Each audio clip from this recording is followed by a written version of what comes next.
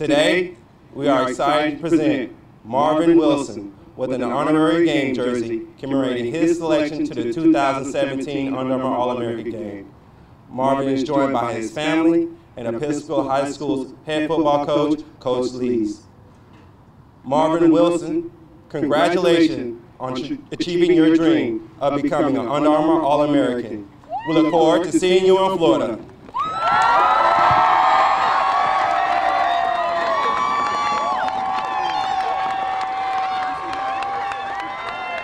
Y'all, thank y'all, thank y'all, thank y'all.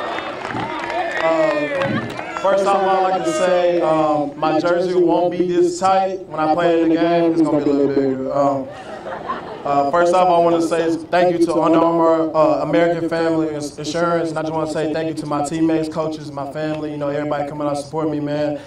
I've been dreaming about this since I was a little kid, probably like six years old, watching the All-American game. You know, just it's a blessing to be out here, man. Dream big, get the right people around you, and go follow it, man. Don't let nobody discourage you, tell you what you can't do. Just do what you want to do. As long as you got the right people, the right family, the right mom behind you, you can do whatever you want to do, man.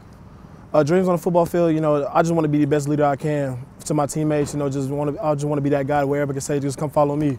That's type of dude, the guy I am. You know, I just want to be as successful as I can be with, with the guys around me, and I just want people that supported me. I just want to make them proud.